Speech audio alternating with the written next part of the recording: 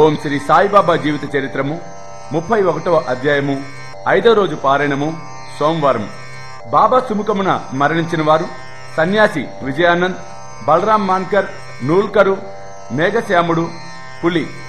ఈ అధ్యాయంలో బాబా సన్నిధిలో కొంతమందితో పాటు ఒక పులి కూడా మరణము పొందుటను గురించి హేమాడ్ పంత్ వర్ణించుచున్నాడు. ప్రస్తావన మరణకాలమున మనస్సునందున్న కోరిక గాని ఆలోచన గాని వాని భవిష్యత్తును నిశ్చయించును. భగవద్గీత ఎనిమిదవ అధ్యాయమున ఐదు ఆరు శ్లోకములలో శ్రీకృష్ణుడిట్లు చెప్పి ఉన్నాడు.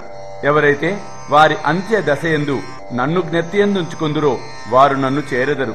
ఎవరైతే ఏదో మరొక దానిని ధ్యానించెదరో వారు దానినే పొందెదరు. అంత్యకాలముందు మనము మంచి ఆలోచనలే మనస్సునందుంచుకోగల నిశ్చయము లేదు.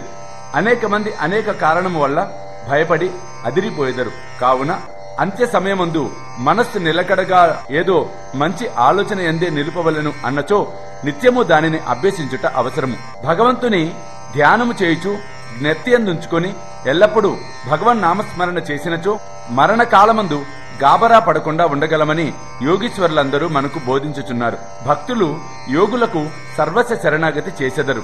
ఏలన సర్వజ్ఞులకు యోగులు దారి చూపి అంత్యకాలమున సహాయము చేసెదరని వారి నమ్మకం. అటువంటివి కొన్ని ఇచ్చట చెప్పెదను. విజయానంద్ విజయానంద్ అను మద్రాసు దేశపు సన్యాసి మానస సరోవరమునకు యాత్రార్థమై బయలుదేరెను. మార్గములో బాబా సంగతి విని సిరిడిలో ఆగెను. అక్కడ హరిద్వారం నుంచి వచ్చిన సన్యాసియకు సోమదేవ స్వామిని కలుసుకొనను. మానస సరోవరపు యాత్ర గురించి వివరములను కనుగొనెను. ఆ స్వామి సరోవరము గంగోత్రికి ఐదు వందల మైళ్ళ పైన గలదనియు ప్రయాణమున కలుగు కష్టములన్నిటినీ వర్ణించెను. మంచు ఎక్కువనియు భాష ప్రతి యాభై కురుసులకు మారుననియు భూటాన్ ప్రజల సంశయ నైజమును వారు యాత్రికులను పెట్టు కష్టములను మొదలగు వాణిని చెప్పెను.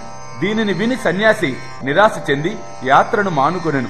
అతడు బాబా వద్దకేగి సాష్టాంగ నమస్కారం చేయగా బాబా కోపించి ఇట్లు అనెను. ఈ పనికిరాని సన్యాసిని తరిమివేయుడు. వీని సాంగత్యము మనకు ఉపయుక్తము కాదురా. సన్యాసికి బాబా నైజము తెలియనందున అసంతృప్తి కలిగెను. కూర్చుండి జరుగుతున్న విషయములన్నిటినీ గమనించుచుండెను. అది ఉదయమున జరుగు దర్బారు సమయము. మసీదు భక్తులచే క్రిక్కిరిసి ఉండెను. వారు బాబాను అనేక విధములుగా పూజించుచుండిరి. కొందరు వారి పాదములకు అభిషేకము చేయుచుండిరి. వారి బొటన వ్రేలు నుండి తీర్థమును కొందరు త్రాగుచుండిరి. కొందరు దానిని కండ్లకు అద్దుకొని చుండిరి. కొందరు బాబా శరీరమునకు అత్తరు చందనములను పూయిచుండిరి. జాతి మత భేదములు లేక అందరూ సేవ చేయుచుండిరి. బాబా తనను కోపించినప్పటికీ అతనికి బాబా ఎందు ప్రేమ కలిగెను. కావున అతనికి ఆ స్థలము విడిచిపెట్టుటకు ఇష్టము లేకుండెను. అతడు సిరిడిలో రెండు రోజులు ఉండిన పిమ్మట తల్లికి జబ్బుగా ఉన్నదని మదరాసు నుండి ఉత్తరము వచ్చెను. విసుగు చెంది అతడు తన తల్లి వద్దకు పోగోరెను. కాని బాబా ఆజ్ఞ లేనిదే సిరిడి విడవలేకుండెను ఉత్తరము తీసుకొని బాబా దర్శనమునకై వెళ్ళెను. ఇంటికి పోవుటకు బాబా ఆజ్ఞ వేడెను. సర్వజ్ఞుడు అగు బాబా ముందు జరగబోన్నది గ్రహించి నీ తల్లిని అంత ప్రేమించువాడవైతే సన్యాసం ఎందుకు తీసుకున్నావురా? కాషాయ వస్త్రములు ధరించువానికి దేని అందు అభిమానము చూపుట తగదు. నీ బస్సుకు పోయి హాయిగా కూర్చుండుము. ఓపికతో కొద్ది రోజులు కూర్చుండుము. వాడలో పెక్కు దొంగలున్నారా తలుపులు గడియ వేసుకొని జాగ్రత్తగా ఉండుము. దొంగలంతయు దోచుకుని పోయేదరు. ధనము ఐశ్వర్యము మొదలగునవి నిత్యము కావు. శరీరము శిథిలమై తుదకు నశించును. దీనిని తెలుసుకొని నీ కర్తవ్యమును చేయుము. ఇహలోక పరలోక వస్తువులన్నిటి అందుగల అభిమానమును విడిచిపెట్టుము. ఎవరైతే ఈ ప్రకారము చేసి హరి యొక్క పాదములను శరణు వేడెదరో వారు సకల కష్టముల నుండి తప్పించుకొని మోక్షమును పొందెదరు. ఎవరైతే ప్రేమ భక్తులతో భగవంతుణ్ణి ధ్యానము చేసి మననము చేసెదరో వారికి దేవుడు పరిగెత్తుకుపోయి సహాయము చేయును. నీ పూర్వ పుణ్యం ఎక్కువ ఒకటిచే నీవిక్కడకు రాగలిగితివి. నేను చెప్పిన దానిని జాగ్రత్తగా విని జీవిత పరమావధిని కాంచుము. కోరికలు లేనివాడివై రేపటి నుండి భాగవతమును పారాయణము చేయుము. శ్రద్ధతో మూడు సప్తాహములు చేయుము. భగవంతుడు సంతృష్టి చెంది నీ విచారములను తొలగించును. నీ భ్రమలు నిష్క్రమించును. నీకు శాంతి కలుగును అని బాబా అనెను. అతని మరణము సమీపించినందున బాబా అతనికి విరుగుడు ఉపదేశించెను. మృత్యుదేవతకు రామ విజయము ప్రీతి అగుటచే దానిని చదివించెను. ఆ మరుసటి ఉదయము స్నానము మొదలగునవి ఆచరించిన పిమ్మట విజయానందుడు భాగవతమును లెండి తోటలో ఏకాంతమును చదువుటకు ప్రారంభించెను. రెండు పారాయణములు చేయగానే అలసిపోయాను. వాడకు వచ్చి రెండు దినములు ఉండెను. మూడవ రోజు ఫకీర్ బడే బాబా తొడపై ప్రాణములు వదిలెను. బాబా ఒకరోజంతయు శవమును అటులనే ఉంచుము అని అనెను. పిమ్మట పోలీసు వానరు వచ్చి విచారణ జరిపిన పిమ్మట శవ సంస్కారమునకు ఆజ్ఞ ఇచ్చిరి.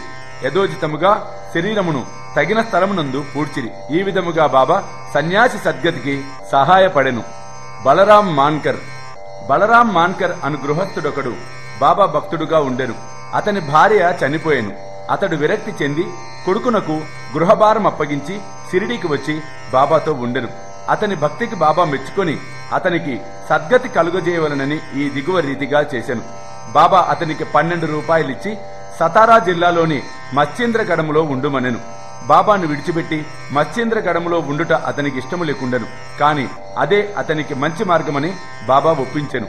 అతడ రోజుకు మూడుసార్లు ధ్యానము చేయమనెను. బాబా మాటలందు నమ్మకముంచి మాన్కర్ గడమునకు వచ్చెను.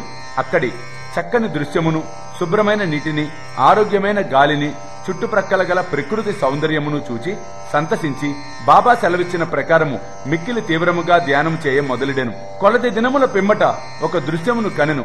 సాధారణంగా భక్తులు సమాధి స్థితి ఎందు దృశ్యములను పొందెదరు కాని మాన్కర్ విషయంలో అట్లు కాక చైతన్యమునకు వచ్చిన పిమ్మట దృశ్యము లభించెను. అతనికి బాబా స్వయంగా కాన్పించెను. మాన్కర్ బాబాను చూచుటే గాక తనను అతడికేల పంపితివని అడిగాను. బాబా ఇట్లు చెప్పెను. షిరిడీలో అనేక ఆలోచనలు నీ మనస్సున లేచెను. నీ చెంచల మనస్సునకు నిలకడ కలుగజేయవలెనని ఇచ్చటకు పంపితిని. నీవు పంచేంద్రియములతో మూడున్నర మూరల మనిషిగా నన్ను భావించితివి. నేనెల్లప్పుడూ సిరిడీలోనే ఉండెదను అని అనుకుంటివి. ఇప్పుడు నీవిచట చూచిన నా రూపము సిరిడీలో చూచిన నా రూపముతో సమానముగా ఉన్నదో లేదో నిర్ధారింపము. అందుకే నిన్నిచ్చటికి పంపితిని. కొంతకాలం గడిచిన పిమ్మట మాన్కర్ గడమ విడిచి బాంద్రాకు పయనమయ్యేను. పూనా నుండి దాదరుకు రైల్లో పోవలను అని అనుకొనెను. టిక్కెట్ కొరకు బుకింగ్ ఆఫీసుకు పోగా అది మిక్కిలి కిక్కిరిసి ఉండెను. అతనికి టిక్కెట్ దొరకకుండెను.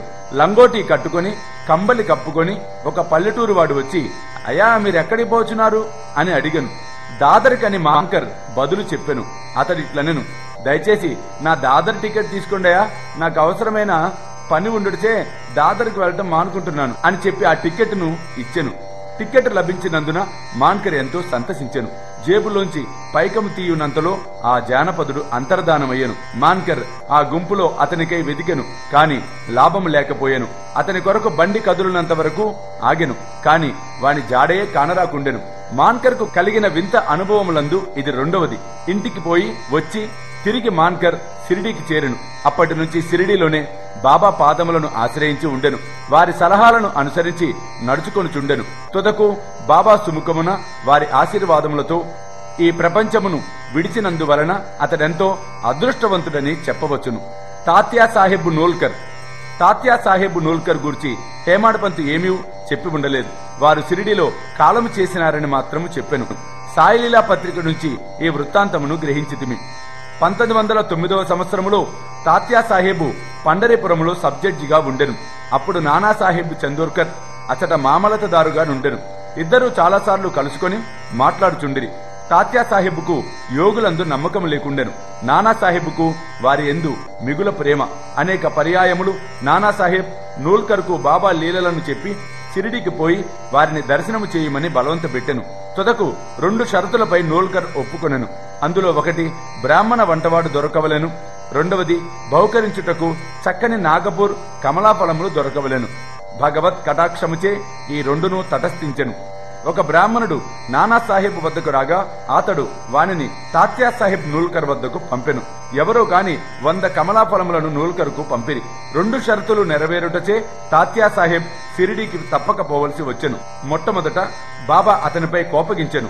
క్రమముగా బాబా అవతార పురుషుడని తగిన నిదర్శనములు తాత్యా సాహిబ్ నూల్కర్కు లభించెను. కనుక అతడు బాబా ఎడ మక్కువబడి తన అంత్య దశ వరకు సిరిడీలోనే ఉండెను. తన అంత్య దశలో మత గ్రంథముల పారాయణము వినెను. చివరి సమయములో బాబా పాదతీర్థము అతనికిచ్చిరి. అతని మరణ వార్త విని బాబా ఇట్లనెను. అయ్యో తాత్య మనకంటే ముందే వెళ్ళిపోయాను అతనికి పునర్జన్మము లేదురా అని అనెను. మేఘశ్యాముడు ఇరవై ఎనిమిదవ అధ్యాయములో మేఘుని కథ చెప్పి తిని. మేఘశ్యాముడు మరణించగా గ్రామవాసులందరూ శవము వెంట వెళ్ళిరి బాబా కూడా వెంబడించెను. బాబా అతని శవముపై పువ్వులు చల్లెను. దహన సంస్కారమైన పిమ్మట బాబా కంట నీళ్ళు కారెను. సాధారణ మానవుని వలె బాబా చింతా విచారమగ్నుడైనట్లు కనపడెను. శవమంతయు పూలతో కప్పి దగ్గరి బంధువు వలె ఏడ్చి బాబా మసీదుకు తిరిగి వచ్చెను. యోగులనేకులు భక్తులకు సద్గతిని ఇచ్చుట విందుము. కాని బాబా గొప్పదనము అమోఘమైనది. క్రూరమైన పులి కూడా వారి వలన సద్గతినే పొందెను. ఆ కథయే ఇప్పుడు చెప్పుదును. పులి బాబా సమాధి చెందుటకు ఏడు రోజుల ముందొక విచిత్రమైన సంగతి సిరిడీలో జరిగెను. ఒక నాటు బండి వచ్చి మసీదు ముందర ఆగెను. ఆ బండిపై ఇనుప గొలుసులతో కట్టి ఉంచిన పులి ఉండెను. దాని భయంకరమైన ముఖము వెనుకకి తిరిగి ఉండెను. దానిని ముగ్గురు దర్వీషులు పెంచుచూ ఊరూరు త్రిప్పి డబ్బు సంపాదించుకొనుచుండిరి అది వారి జీవనోపాధి. ఆ పులి ఏదో జబ్బుతో బాధపడుచుండెను. అన్ని విధముల ఔషధములు వాడిరి. కాని ప్రయత్నములు నిష్ఫలమయ్యను. బాబా కీర్తి విని వారు దానిని సిరిడీకి తీసుకుని వచ్చిరి. దానిని గొలుసులతో పట్టుకొని ద్వారము వద్ద నిలబెట్టి దర్వీషులు బాబా వద్దకు పోయి దాని విషయమంతయు బాబాకు చెప్పిరి. అది చూచుటకు భయంకరముగా ఉండి జబ్బుతో బాధపడుచుండెను. అందుచే అది మిగుల చికాకు పడుచుండెను. భయాశ్చర్యములతో దాని వైపు ప్రజలందరూ చూచుచుండిరి. బాబా దానిని తన వద్దకు తీసుకుని రమ్మనెను. అప్పుడు దానిని బాబా ముందు తీసుకుని వెళ్ళిరి. బాబా కాంతికి తట్టుకొనలేక అది తలవాల్చెను. బాబా దాని వైపు చూడగా అది బాబా వైపు ప్రేమతో చూచెను. వెంటనే తన తోకను నేలపై మూడుసార్లు కొట్టి తెలివి తప్పి క్రిందపడి చచ్చెను.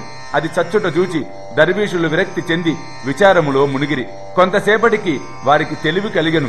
ఆ జంతువు రోగముతో బాధపడుతూ చచ్చుటకు సిద్ధముగా ఉండుడచే అది బాబా సముఖమున వారి పాదముల వద్ద ప్రాణములు కోల్పోవుట దాని పూర్వజన్మమే అని భావించిరి. అది వారికి బాకీపడి ఉండెను. దాని బాకీ తీరిన వెంటనే అది విమోచనము పొంది బాబా పాదముల చెంత ప్రాణములు విడిచినది. యోగుల పాదముల కడ వినమ్రులై ప్రాణములు విడిచివారు రక్షింపబడుదురు. వారెంతో పుణ్యము చేయనిదే వారి గట్టి సద్గతి ఎట్లు కలుగును? ఓం నమో శ్రీ సాయినాథాయ. శాంతి శాంతి శాంతి. ముప్పై ఒకటవ అధ్యాయము సంపూర్ణము.